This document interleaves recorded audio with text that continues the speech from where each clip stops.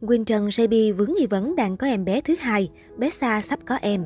Có thể nói Quỳnh Trần hiện tại đang rất vui vẻ và có một cuộc sống bình yên đầm ấm tại Nhật Bản. Dù có thêm thành viên mới hay không, người hâm mộ vẫn luôn mong rằng gia đình Quỳnh Trần sẽ luôn vui vẻ và hạnh phúc như hiện tại. Trở thành gương mặt quen thuộc trên mạng xã hội nhờ những vlog ăn uống cực bắt mắt và chân thực, Quỳnh Trần JB hiện là cái tên được rất đông khán giả vô cùng yêu mến.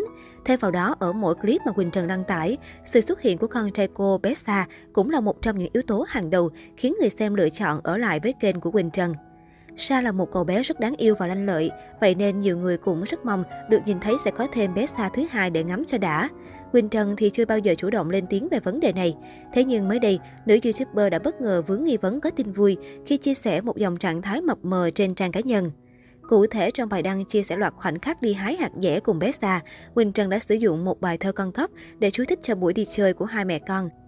Sẽ không có gì đáng nói nếu đoạn thơ này không có câu thằng cu nối tiếp thằng cu sai đời. Vì vậy, bên cạnh những ý kiến khen ngợi xa đáng yêu, một vài khán giả đã tò mò hỏi rằng liệu có phải gia đình Quỳnh Trần sắp đón thành viên mới hay không? Trước nghi vấn này, nữ YouTuber đã nhanh chóng giải thích ngay bên dưới. Theo đó, Quỳnh Trần đã để lại lời đính chính như sau. Biết ngay có người lướt xuống đây hóng bà Quỳnh hai vạch cho mà coi. Thú thiệt em đọc hộ thơ nhà bà hàng xóm. Câu trả lời có phần lời lội của Quỳnh Trần đã xua tan đi được nghi vấn của mọi người như một lời khẳng định rằng đây chỉ đơn giản là một bài đăng vui đùa. Song đáng chú ý, không chỉ độc giả mà dưới phần bình luận, người chị em vô cùng thân thiết của Quỳnh Trần là bà Nhân Vlog cũng đã để lại dòng bình luận góc vui.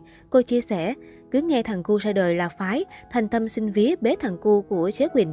Được biết, Đức Nhân cũng đang trên hành trình tìm con hết sức gian nan của mình. Nếu ai theo dõi gia đình Quỳnh Trần JB đã lâu, chắc hẳn đều biết đến câu chuyện nữ YouTuber cực kỳ vất vả để có em bé. Cô gặp khó khăn trong chuyện sinh nở và phải dùng phương pháp thụ tinh nhân tạo để có bé xa như ngày hôm nay. Quỳnh Trần từng kể, sau thời gian con và ông xã kết hôn năm 2013, mãi năm 2014 đợi hoài không có tin vui, con mới nói với anh xã là giờ con thích có con lắm và mong muốn anh lên bệnh viện kiểm tra với con. Ở Nhật người ta thích nuôi chó, nuôi mèo nhưng con thích có con nên con muốn nuôi con con. Vì anh cũng thương nên đã dắt con tới bệnh viện và biết được rằng do anh lớn tuổi nên khó có con. Sau thời gian dài kiên trì và cố gắng, Quỳnh đã mang thai đứa con đầu tiên. Khi thai được 3 tháng, nữ YouTuber về Việt Nam ăn Tết và đi rất nhiều chùa để lễ tạ ơn. Tuy nhiên, lần đó Quỳnh Trần xin không được suôn sẻ, em bé đã ngừng thở chỉ sau vài tiếng chào đời. Sau khi mất con, Quỳnh Trần khóc đến mức mắt mờ đi, thậm chí bác sĩ còn nói rằng nếu khóc thêm nữa sẽ có thể mất đi thị giác. Sau đó để tâm trạng ổn định, ngày nào cô cũng đọc kinh cầu nguyện. Con kiếm mẹ quan âm để con hỏi là tại sao mẹ không cứu con của con. Đến một ngày mẹ cho con gặp và nói rằng con phải cố gắng lên.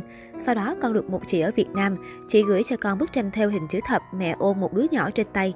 Con ở nhà con theo tranh, theo xong bức tranh đầu tiên con cũng mang thai xa luôn.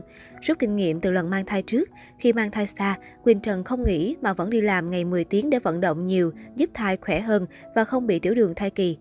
Sau nhiều nỗ lực và trải qua hai lần đau vì sau 2 tiếng không đẻ thường được, bác sĩ mới quyết định mổ. Quỳnh sinh bé Sa đúng ngày Noel. Khoảnh khắc nghe Sa cất tiếng khóc, Quỳnh còn khóc nhiều hơn con vì hạnh phúc. Thằng Sa vừa ra đời đã khóc, nghe thấy tiếng nó khóc Quỳnh còn khóc lớn hơn nó nữa. Quỳnh sợ lắm, đưa Sa về nhà ngủ mà hai vợ chồng tối nào cũng bật đèn không dám ngủ. Sợ có khi nào nó ngủ nó không ở lại với vợ chồng Quỳnh nữa không, nó chết không. Một hành trình tìm con đầy nước mắt cuối cùng đã thu được trái ngọt. Cậu bé xa đáng yêu khấu khỉnh chính là món quà vô giá mà Thượng Đế mang đến cho Quỳnh.